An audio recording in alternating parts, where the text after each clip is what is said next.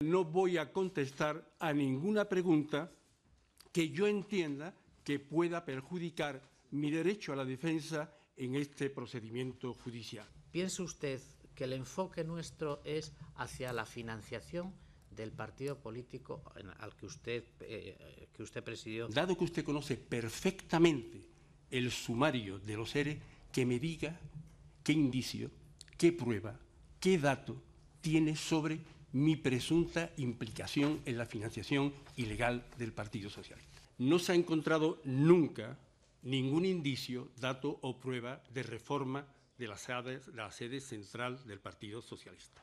No se ha encontrado nunca ningún indicio, dato o prueba de la financiación, presunta financiación ilegal de campañas electorales. No se ha encontrado nunca ningún dato, indicio o prueba de pagar sobresueldos a dirigentes del Partido Socialista. Y no se ha encontrado nunca una financiación de una caja B del Partido Socialista. Señora Presidenta, termino.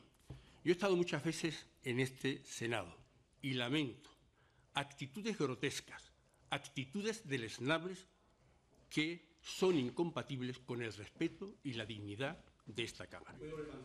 No, no ha terminado Un la... momento, por favor, un momento. Eh, señor Chávez, eh, lo había hecho usted muy bien hasta el final.